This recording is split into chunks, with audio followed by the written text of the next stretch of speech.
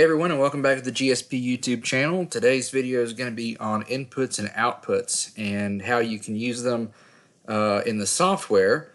Uh, on the GSP uh, Facebook page I kind of did an impromptu video about um, the differences between an input and an output and um, if you haven't already checked that out feel free to go over and, and take a look at that. Um, in short the difference between an input and an output is that an input gives the ECU information and an output is information from the ECU that's given out to some external device. So it literally is as simple as the name implies. If you're putting something in, it's an input. If you're getting something out, it's an output. Um, examples of inputs would be things like buttons that arm your nitrous or your trans brake or uh, an example of an output would be your electric fans or a nitrous solenoid or a boost uh, solenoid, all sorts of different things that you can use uh, depending on what you're trying to do. And I don't want to um, give you guys really examples because I want you to think outside of the box. It's really uh, important that uh, you understand how free you are to use uh, both the software and its capabilities. So, first things first, basic I.O. Let's just take a look at where that's at. Uh, this is the pre-canned Holley's, you know, the, the stuff that comes, that Holley expects for you to use without any kind of, uh, you know, additional work. So if you go to the system parameters icon and go to basic I.O., you'll find that you can set electric fans and your air conditioning, um, that both of those come you know, from Holley in your Wizard tunes. They're automatically mapped and everything. Now, there's other things that you can do, like add a second fuel pump, or if you are using a Terminator X and not the Max, this is where you would work on your torque converter lockup settings if you had something like a um, an early model trans with a lockup converter, you know, aftermarket installed, or if you have a trans brake you can use a trans brake um, with just a Terminator X, and you don't have to have a Max, just because the only thing the Max adds is transmission control for your electronic transmissions. If you got a power glide with a brake, it's all you need right here. So let's just go back to uh, your electric fans. This is going to be a tip um, for for uh, you know the tuning side of things. This right here, let me just, you know, I'm, I'm seeing this for the first time. This is just a basic, uh, you know, base cal from Holley, nothing special that I've done at all. Um, this looks like it would be good settings for something like 175-ish, maybe even 180 degree thermostat. But my tip to you is, let's say you've got a 180 degree thermostat. If you don't want the fans to run all the time, I'd set this off temp at 185. So it's going to come on at 195. It's going to turn off at 185. And what that's going to allow you to do, if you if you ever get to a point where uh, your thermostat temp is higher than your fan off temp, the fan is going to run constantly. You're never actually going to get below that. Your fan's never going to turn off. It'll come on. The car will run cool. Everything's going to be fine. It's it's not going to hurt anything. But you're going to have a situation where uh, the fan is just always on, and there's just no need. There's no need for that. Uh, as far as AC shutdown goes, um, honestly, a lot of guys don't use this, and and that's fine because most of you don't actually have air conditioning on on your setups. But say you got a hot rod that uh, you want to be cool in the summer as well, you want to use your AC shutdown and the IAC kick. Let me explain how these work. Um, whenever you are running the AC, there's a certain RPM that you don't want to overspeed the AC compressor and um, also it's a parasitic drag if you're trying to go fast. So you can set a max coolant temp uh, and a max TPS where you know max coolant temp is an overheating thing. So if you get to 235 degrees, turn the AC off because it's adding heat to your engine. It's it, there's a, a condenser up front that's right in front of the radiator, and all it does is just overheat things. And then there's a max TPS, so that if you go over TPS 50 percent it shuts the AC compressor off, gives you that power back, and doesn't overspeed the compressor. Um, this checkbox activates this as an input. Now, it should be known that this is the input activation, but you're actually going to be using it as an output because what we're going to do is trip a relay in line with the air, air conditioning compressor power so that the relay will be, in this case, it will be normally closed and switch to normally or switch to open with power.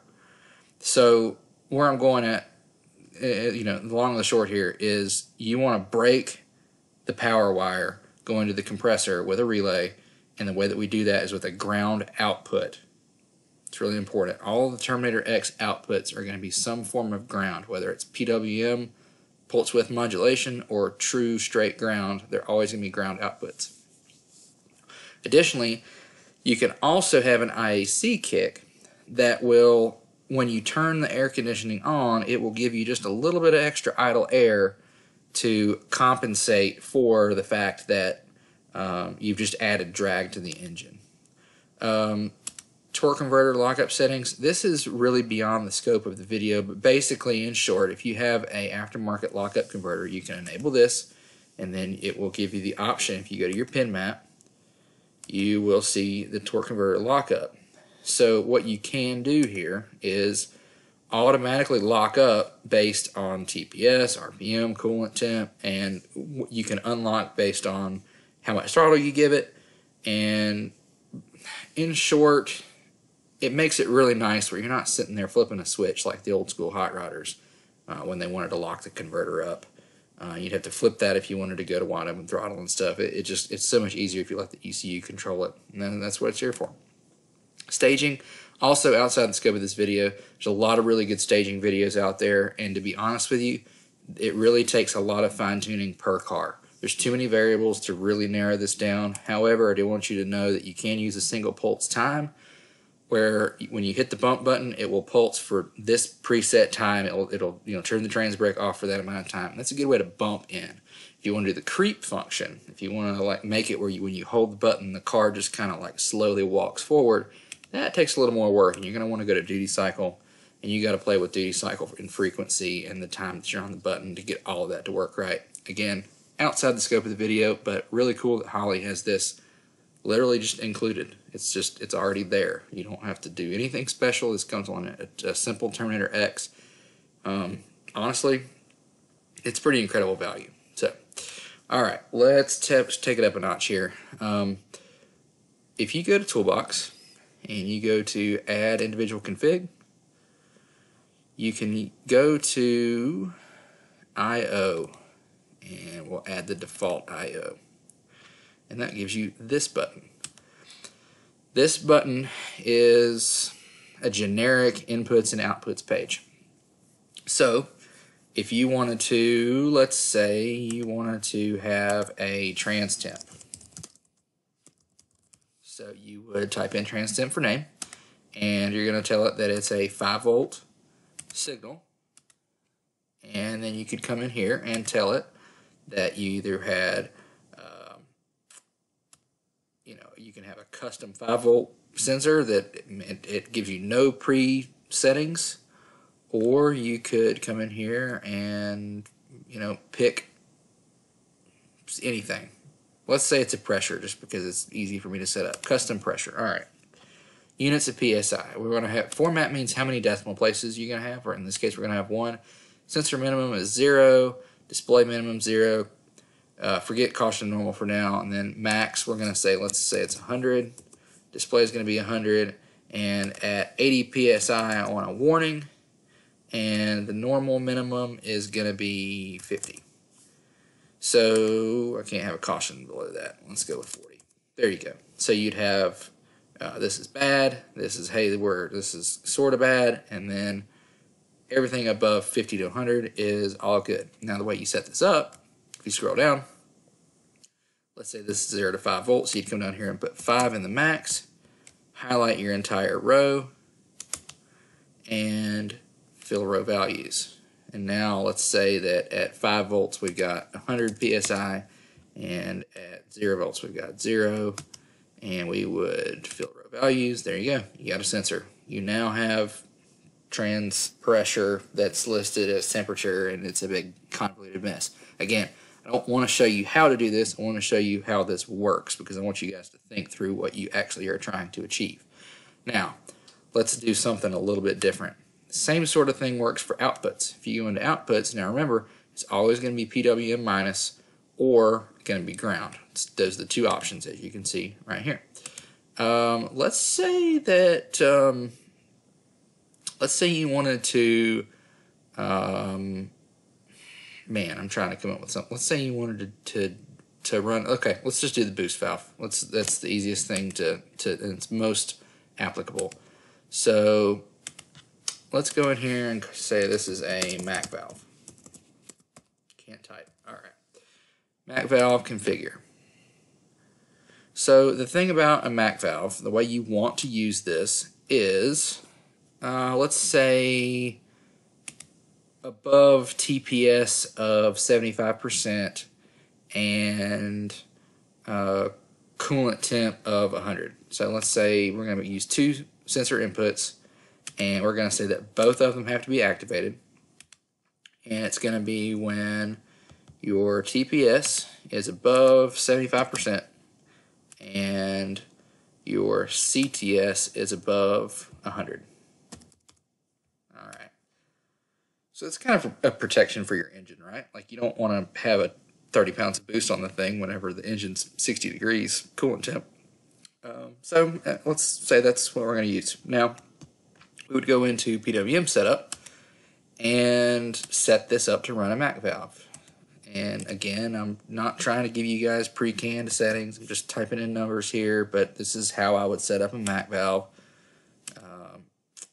Typically, I'm going to do an RPM on the x-axis, and I'm going to do, uh, a lot of times I'll use target boost outside the scope of this video, but if you're using um, the boost ICF, you can set a target boost, and if you have a target boost and you know what percentage duty cycle gives you that target boost, then it's really easy to uh, change the target in that simple ICF, and then you just get the boost that you want versus trying to chase uh, you know numbers for the Mac valve here. But um, let's just say that that uh, this is let's do TPS. This is this will be a simple open loop setup. So obviously we don't need to go to zero. You know it's not going to work under 75%. So we're going to start with 75, fill this column so we got even spacing. And we're not going to try to make boost at 0 RPM, so let's put 2,000 in here. And the engine's not going to turn 20 grand. Let's give this 7,000. Alright, highlight this row, fill row values. You're going to use this fill row values and fill column values a lot, so just know that. Alright, so let's say that at TPS 100%, uh, I want to have, or, or actually 93 to 100%, we're going to call that wide open throttle. I want to have 80% duty cycle on my solenoid. And so that the throttle doesn't just run away or the engine doesn't just run away, I'm not going to put 80 in this whole thing. I can feather this down to, to, to zero. Fill column values. There you go. And let's just say that the engine, for whatever reason, doesn't make as much boost up top. You know, the, the thing comes up and, and is, is running really good and it's consuming that air and it doesn't make as much boost. So we want to cram a little more in there. All you got to do come right in here and let's just do this way over 5,000 RPM we're gonna make this 90% now. And you can do the exact same thing. We can even do fill row values right here. So we can make this nice and smooth. We'll fill rows that way. We'll grab this fill columns this way. Bam. There you go. You got a kind of a, a rising boost curve or at least trying to maintain the same pressure if your engine uh, does this. It, I see this a lot where boost will kind of taper off with RPM, and it's just simply because your engine is just breathing better. Got to give the turbo a little extra help to uh, to really keep the boost coming on. So anyway, that's just an example of how you can use an output to set up a Mac valve. Um, you could do the same thing uh, if you want to run a nitrous solenoid. Um, you can do a second stage of nitrous using this. Uh, I'm trying to think some other way you could uh, shoot. You could you could do something like turn a light on, turn a shift light on. This you could turn a shift light on with this, no problem. Um, you could um, you know turn a turn a a, a heater on uh, if the you know the outside or the manifold temp is too low. You I'm making stuff up at this point. You could um, you know, shut your fans off if you're going over a certain temp. You can make a custom fan output. If you don't like the way that Holley does this, um, you, you, could do that. You could make an, a uh, an output that would turn your alternator on. You'd have to use a relay, obviously, Um, but the way that you would do something like that is, let's say, um, alternator, yeah, can type, okay. Let's say we're going to use ground, we're going to go in here and configure, um, and let's say that we want over 500 RPM, we want the alternator on, and uh, let's do another one, and let's let's do this. Let's hey, let's turn the alternator off.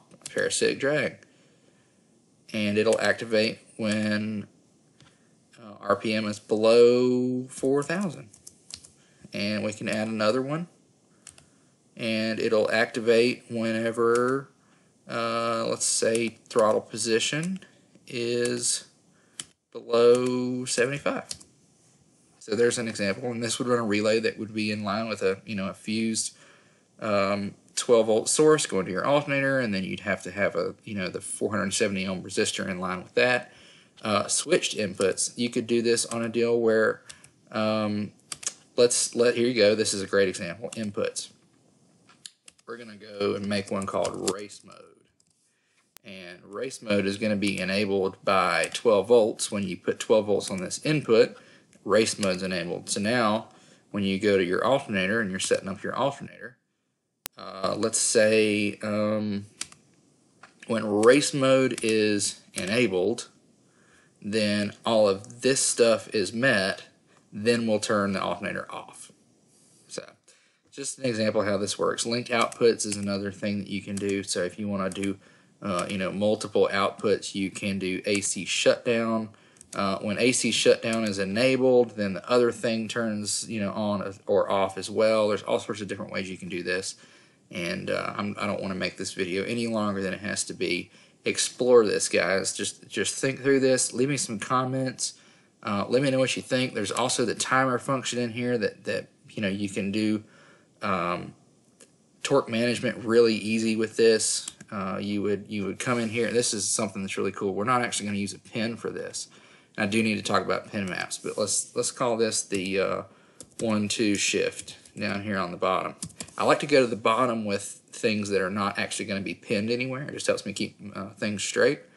Uh, and and you know we're gonna set this as a PWM just because we can run the timer that way to continue. And um, so we're gonna do two triggers and both of them come in here and say um, well, darn, we don't have it because this is not a uh, this is not a max. But you, you could use your your uh, you could use your your automatic transmission current gear to predict which gear you're in and predict the gear shift, and then you would come in here to the timer and say something like, "I'm going to start." You know, 0.7 seconds after the shift is commanded, and then it's going to be, uh, you know, happening for point six seconds while the shift actually happens, and then you would go set up an advanced table to pull timing. Um, just an example, you don't actually have to map this stuff for these outputs to work internally. Really fast, the way the pin map works, if you make something, you got to actually map it somewhere or it's never going to work. So you got to come in here and say, all right, I'm going to put this 5 volt signal wire, I'm going to put it on A3 input 2. In race mode, race mode is going to be a 12 volt source going to A13 input 3. And then on my outputs, I've got this MAC valve I got to come in here and put. And you go, oh no, I got way too much stuff. Well, remember, we're not going to use one two shift. And uh, let's say we're going to toss out electric fan too, so we can go ahead and put the alternator on, on B11. You got to map this stuff, guys, so that the stuff actually knows, the Holley knows where to send these signals. Um, all of the wiring diagrams are online, and you can see which wire goes to which of these pins uh, using the wiring diagram. I'm not going to try to quote you because I'll misquote it and then the whole internet will explode.